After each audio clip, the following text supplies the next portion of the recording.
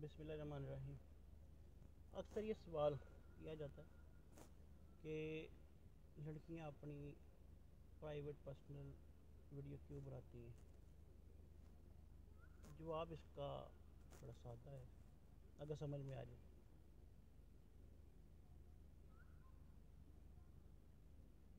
یا تو لڑکی کسی کے ڈیمانڈ پہ لڑکی بناتی ہے اپنی ویڈیو یا پھر واش روم میں لگے آئینے کے سامنے کھڑے ہونے کا جو پرپز ہوتا ہے لڑکے کا، وہی پرپز اس کا ویڈیو بنانے کا۔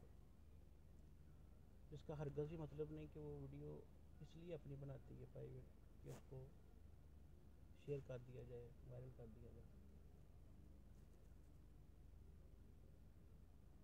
ہمیں یہ رائٹ کوئی نہیں دیتا کہ اگر اس کی ویڈیو کسی ان آتھورائز طریقے سے ہمارے پاس آ گئی ہے تو ہم اس کو شیئر کر دیں یہ کرائم ہے، یہ جرم ہے۔ یہ سائبر کرائم میں آتا ہے۔ اس کی پانچ سال سزا ہے۔ پچاس لاکھ جرمانے ہے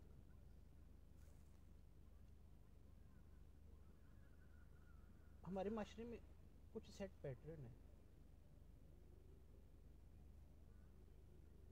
ان سیٹ پیٹرن کو غور سے دیکھیں گے۔ تو وہ اس معاشرے کے مرد کے کچھ منافقانہ پہلو بیاں کریں۔ کبھی کسی محلے گلی میں آپ نے کوئی اریاں عورت دیکھی جاتی جس کا دماغ بیلنسڈ ہو؟ نہیں نا۔ کیسے ممکن ہے؟ کہ ایک لڑکی اپنی نجی پرائیویٹ ویڈیو بنائے اور اس کو پبلک یہ نہیں ہو سکتا، یہ آپ کو اس بارے میں سوچنا ہوگا کہ ایک لڑکی کا مقصد اپنی ویڈیو بنانے کا صرف اپنی بیوٹی کو دیکھ کر سیٹسفیکشن ہے تو اس کو آپ افینسولی نہ لیں اس کو آپ وائرل نہ کر دیں۔ کو اپنی ناتشنا خواہشوں کی بھیڑ نہ چڑھا دیں یہ علمی ہے اس معاشرے کا کہ ہم کرٹیسائز بہت کرتے ہیں۔ ہمیں کوئی کام آتا ہے یا آتا ہے یا نہیں آتا، ہمیں کرٹیسائز کرنا، تنقید کرنا، بے جا ڈیگریڈ کرنا اور اس سے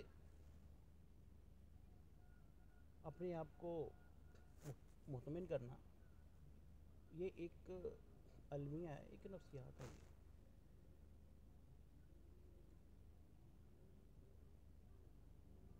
ویڈیو لڑکیاں بناتی ہیں، اپنی ذات کے لیے بناتی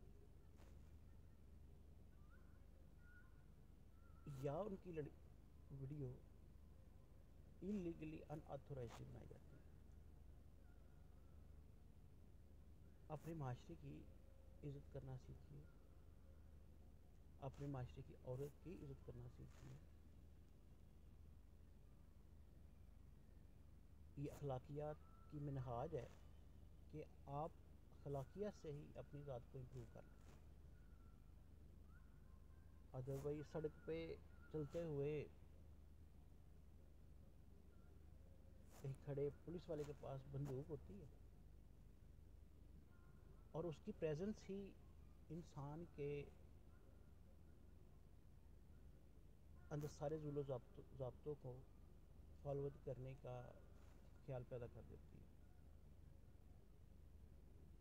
یہ پانچ دس سالوں میں سائبر لاز یہ رولز اور ریگولیشن اور کلیئر ہو جائیں گے۔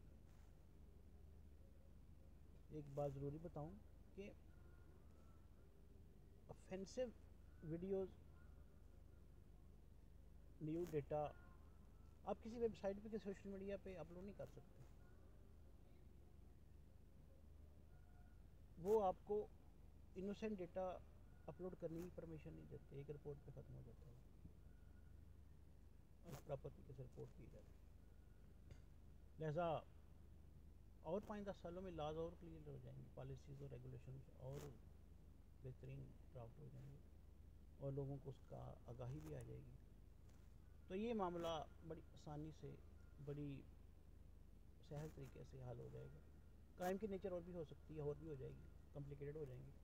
لیکن پاکستان میں cyber crime is related very much to women the grace of